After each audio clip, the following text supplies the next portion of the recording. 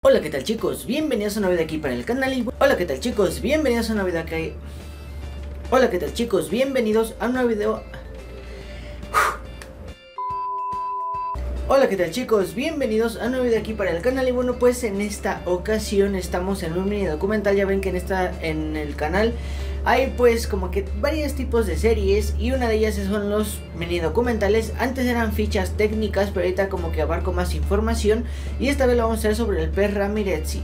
Y bueno, pues yo creo que es un pez más uno de los más bonitos, más coloridos y también uno de los más comercializados en el mundo de la acuariofilia. Así que bueno, como siempre, aquí abajo está un botoncito por si quieres suscribirte y activar la campanita. También por ahí tengo un canal de juegos por si quieres ir y verme en un entorno diferente al de los acuarios. Así que bueno chicos, pues ahora sí, vamos a empezar.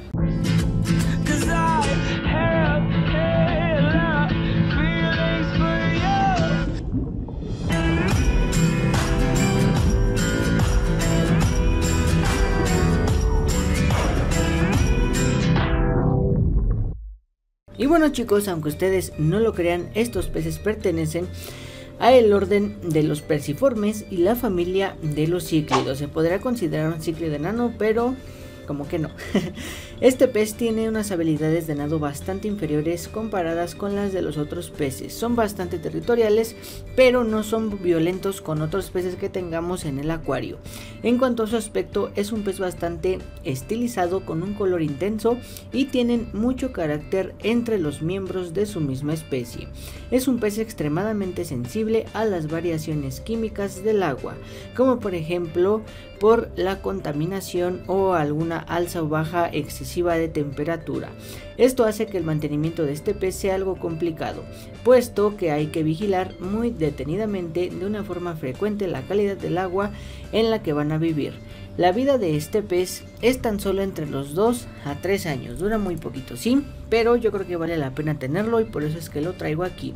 Y también es uno de los que se lleva muy bien con los discos, aparte de que también con los discos debemos de cuidar mucho la calidad del agua pues con los Ramírez también y por eso es que se los recomiendo muchísimo. Eso sí en acuarios muy plantados pero de eso hablamos más adelante. El cuerpo de este pez es de color amarillo con algunas franjas verticales de color negro o marrón. Algunos tienen manchas por todo el cuerpo y son de color azul. Una característica que hace distintivos del resto es que tienen una franja vertical de un color negro que, cruza de ojo a ojo. El pez tiene una longitud de 7.5 centímetros, así que no es muy largo y no vamos a poder tenerlo desde acuarios de 60 litros en adelante a la parejita. La aleta dorsal de estos peces es más alta al principio y al final, al contrario que en otros peces. Cuando la aleta llega al final toma forma de penacho, con los tres primeros de color negro. El dimorfismo sexual está un poco definido en estos peces, no es tan grande obviamente y son pequeñas las diferencias que podemos ver entre machos y hembras. No todos los peces Ramirez tienen un mismo color, existen distintas variedades entre que nos encontramos con dorados, albinos, otros tienen las aletas de formas distintas y aunque también hay una variedad más abundante que es de color como amarillo con blanco, que esa es más de estilo salvaje. También hay otra que es como que genéticamente modificada. Es un azul eléctrico muy bonito y también hay un Ramirezzi enano que es como más redondito, más ovalado, que se ve igual bonito, pero a mi consideración el que más me gusta es el normal. Estos peces eh, se ha mencionado o se los he dicho que son bastante territoriales pero también son pacíficos. sé que es muy contradictorio pero a esto me refiero porque en la época donde se comportan de forma más territorial es cuando empiezan a tener sus crías o cuando empiezan a hacer a cortejar la hembra o también como le dicen muchas veces el mentado o la mentada época de fresa. Aquí es cuando debemos de tener cuidado con estos peces de que no vaya a lastimar algún otro pez o algo por el estilo, ya que sí es muy probable que lo haga porque tenemos que eh, tener muy por eso que tenemos que tener muy bien plantado el acuario porque ahí ellos van a delimitar muy bien sus territorios en acuarios muy bien plantados y en los cuales pues se van a sentir muchísimo más a gusto a que si por ejemplo nada más los tenemos en un acuario con pura grava y sin ninguna planta, pues ahí vamos a tener un gran problema. Entonces, yo se los recomiendo que los tengan en acuarios muy, muy bien plantados, ya que es un hábitat específica y esencial para ellos. También en cuanto a sus orígenes de este pez, estos peces son originarios del eh, Orinoco central entre Colombia y Venezuela. En estos ríos suele haber bastante vegetación como se los mencioné y zonas sombrías con la singularidad de que se encuentran en lugares donde hay espacios para nadar. Si queremos tenerlos en un acuario deberemos acondicionarlos con troncos, piedras que le permitan marcar el territorio. Hay que recordar que esta especie es bastante sensible a los cambios de temperatura y de composición química por lo que si cambian las temperaturas del acuario o comienzan a contaminarse por fallos del filtro o agentes externos, estos peces empezarán a sufrir daños, así que no se los recomiendo, no les recomiendo para nada que estos peces los tengan en acuarios o que mejor dicho los tengan acuaristas principiantes. Estos peces son para acuaristas ya más experimentados los, cuales perdón, tengan como mínimo el... Eh, como que la información básica de parámetros, ya sea pH, ya sea GH, nitritos, nitratos, temperatura obviamente, el ecosistema en el cual van a estar, porque si no, los vamos a tener en muy malas condiciones y lo que no queremos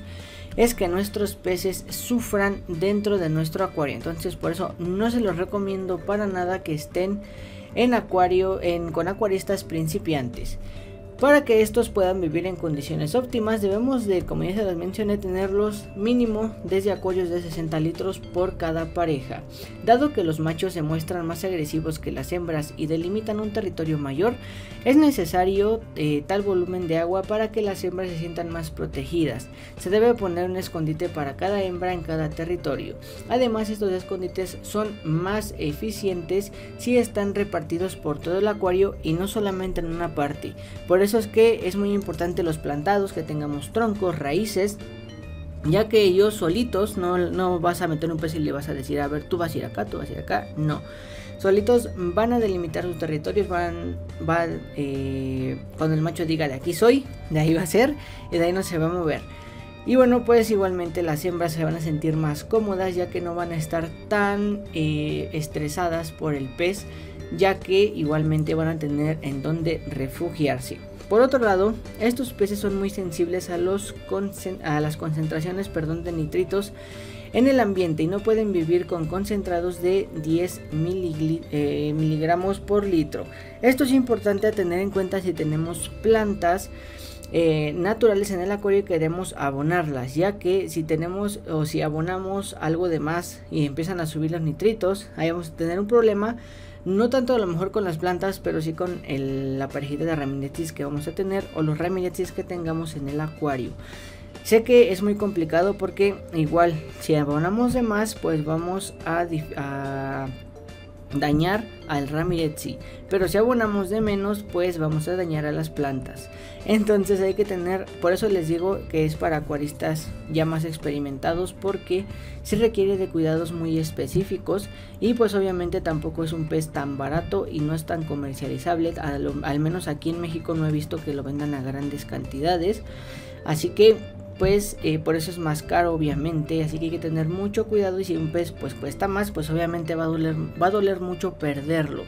Pero bueno, eh, una vez que las parejas ya estén formadas dentro del acuario, obviamente pues van a empezar a defender sus territorios para empezar a entrar en época de fresa. Les voy a hablar un poquito sobre su reproducción de este pez.